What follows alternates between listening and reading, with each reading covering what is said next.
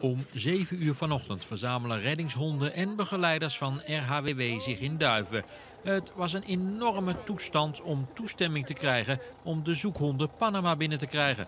Nou, we hebben er drie dagen aan gewerkt. We hebben 983 telefoontjes gehad en gepleegd eh, in de afgelopen vier dagen. Maar het is gelukt en daarom kunnen de 12 reddingshonden en 18 begeleiders Vijf, zes, zich vanmiddag inchecken voor een vlucht naar het Zuid-Amerikaanse land.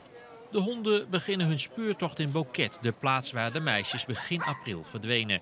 Sindsdien ontbreekt ieder spoor. De honden gaan dus laat, maar het hoeft zeker niet te laat te zijn.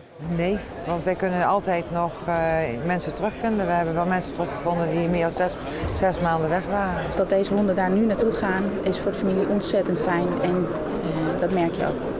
Het is echt een opleving en er komt kracht uit naar voren en energie uit naar voren. En iedereen denkt, oké, we gaan er weer voor. Het is echt een nieuwe, nieuwe impuls. In Panama zelf is ook al met honden naar de meisjes gezocht, maar dat waren zogeheten puinhonden. Tuinhonden die mogen alleen maar levende mensen aangeven.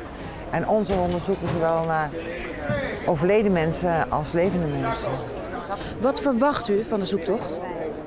Hopen dat ik vind. Is die kans groot? Ik zeg 50 procent. Als we in het goede gebied zitten, dan, dan, moet, dan moet het gewoon lukken.